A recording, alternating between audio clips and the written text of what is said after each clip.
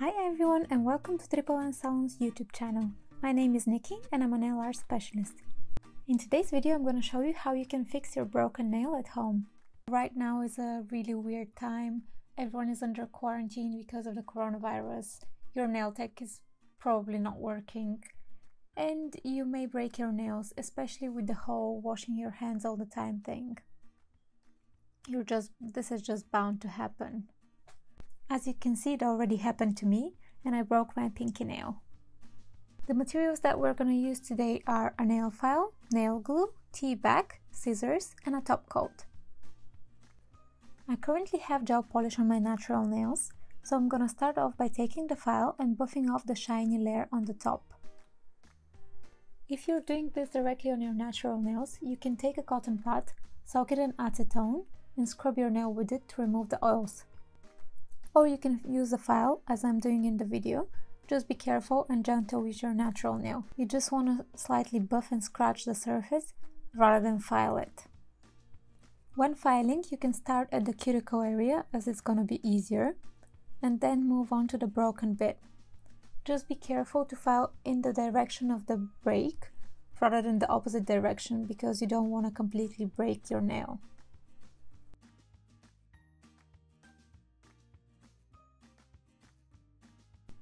Now that your whole nail is buffed, you can take the nail glue and apply it on top of the whole nail.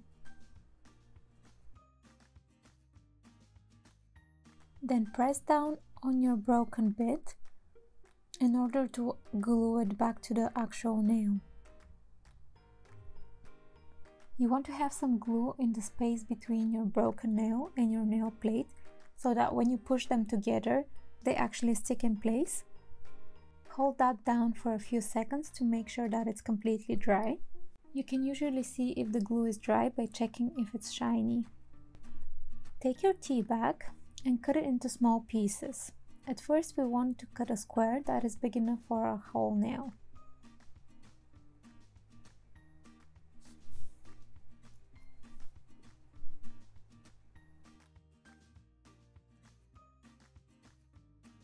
One or two parts of it, you're to cut them in even smaller pieces. The smaller pieces are easier to play around with and stick to the nail. You're to apply the glue on top of the broken bit and place your first tea back on top.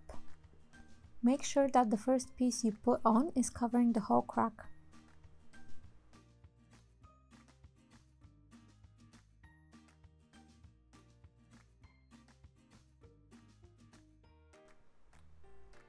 Then apply glue on top of that.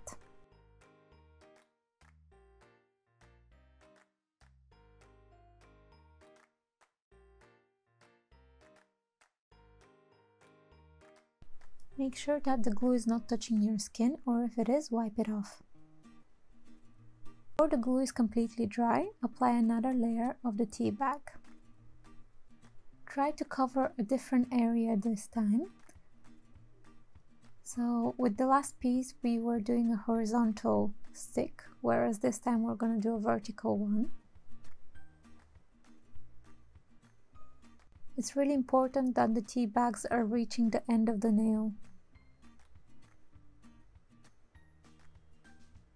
Then again apply glue on top of the nail.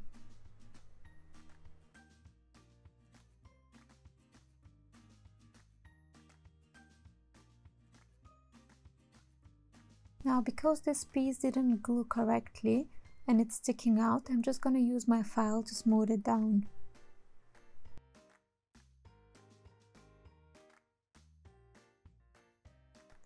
I'm also filing the edges to make sure that they're smooth and the tea bag doesn't go beyond them.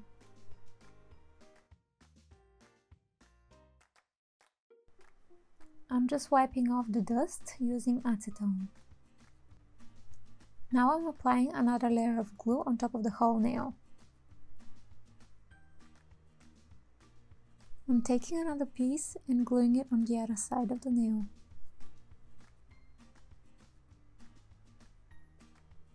I've seen other videos recommend the tea bag technique, but their mistake is that they're putting just one layer of tea bag.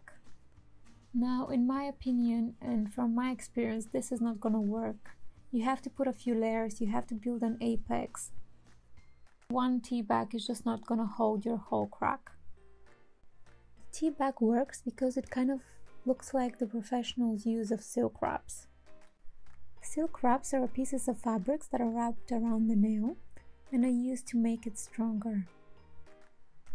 They were really popular treatment in the 80s, but then the acrylics came around and the silk wraps kind of faded away. The reasons they are strong is because of the fibers inside. Something similar is happening in the tea bag. So if we just layer it, it's kind of creating the same effect. We also want to use a few pieces of the fabric because we want to create an illusion of the apex. An apex is usually the highest point of an extension. It is placed in the weakest point of the nail to give it strength and balance, and this usually sits in the back one third of the nail enhancement. Now, some of the pieces that you're going to place on your nail are probably going to be harder to place than others. Uh, usually, the smaller you make them, the easier it's going to be to place them, but you don't want to make them really small, so they at least need to cover let's say a fourth of your nail you're also going to have to add some pieces on the back of the nail as well not just on the crack add a final layer of glue and wait for it to completely dry some glues say that they dry in 10 seconds but just to make sure you can wait a few minutes I waited 5 minutes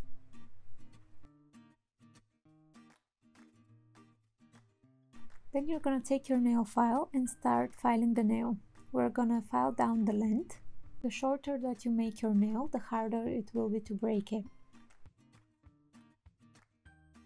Now start filing the side walls and the top to make it smooth. Make sure that you're actually not over filing and you leave the pieces of fabric inside the nail.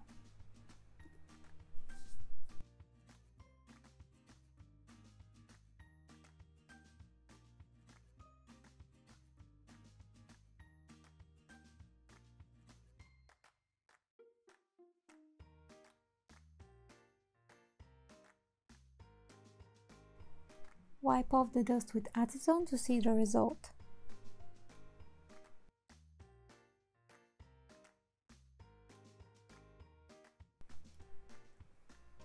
If you're happy with how it looks, you can just put a top coat and you're done. In my case, I decided that it's a bit cloudy because my tea bag wasn't completely clear, so I've decided to put a red nail polish on top of it. You can use nail polish or gel polish. It is totally up to you and whatever you have at home. If you use gel polish, this is usually stronger than nail polish and it's gonna last longer. But again, if you don't have it, it's fine. You can just use a nail polish as I did. When painting the nail, make sure that you're reaching the cuticle but not touching your skin. And you also paint the side walls and the free edge as well. This is to ensure that you seal all the parts that can actually chip. I applied my second coat of color and waited 5 minutes for it to dry. Then I applied my top coat and make sure that it's completely covering the whole nail, including the free edge and the side walls, and that it's nice and smooth.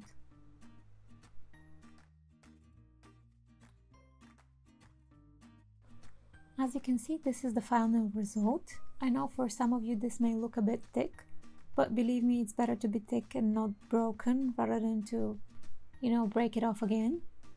We have a correct apex placed and the nail looks like it's gonna be really strong. All the side walls are completely smooth and covered in polish.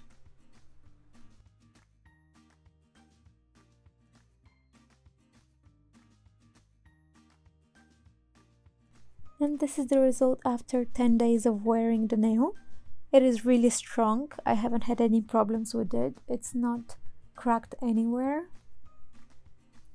It still looks really good. I just decided to take it off and redo my nails for Easter. But other than that, I'm really happy with the result and I hope this helped you as well. If you have any questions or problems, feel free to message me My Instagram is at triple N salon and I'm always there to help you.